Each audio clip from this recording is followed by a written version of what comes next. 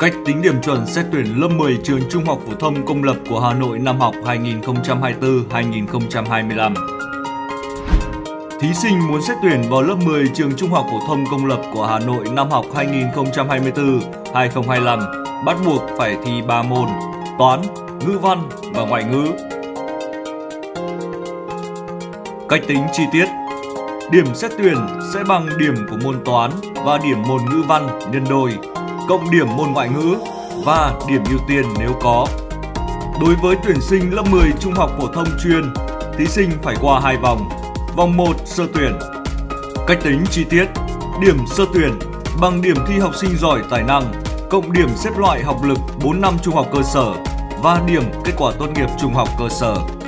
Điểm thi học sinh giỏi tài năng, học sinh giỏi cấp tỉnh, cấp quốc gia, khu vực một số nước hoặc quốc tế Cụ thể, giải nhất 5 điểm, giải nhì 4 điểm, giải ba 3 điểm, giải khuyến khích 2 điểm.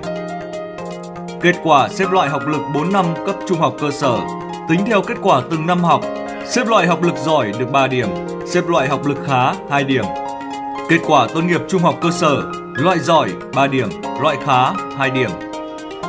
Những học sinh có tổng điểm sơ tuyển 10 điểm trở lên sẽ được tham gia vòng 2. Chi tiết vòng 2 thi tuyển thí sinh phải dự thi 3 môn bắt buộc tuyển sinh vào lớp 10 trung học phổ thông công lập bao gồm toán, ngữ văn và ngoại ngữ và môn chuyên. Cụ thể, điểm xét tuyển sẽ bằng tổng điểm 3 bài thi bắt buộc lấy hệ số 1 cộng điểm bài thi môn chuyên lấy hệ số 2.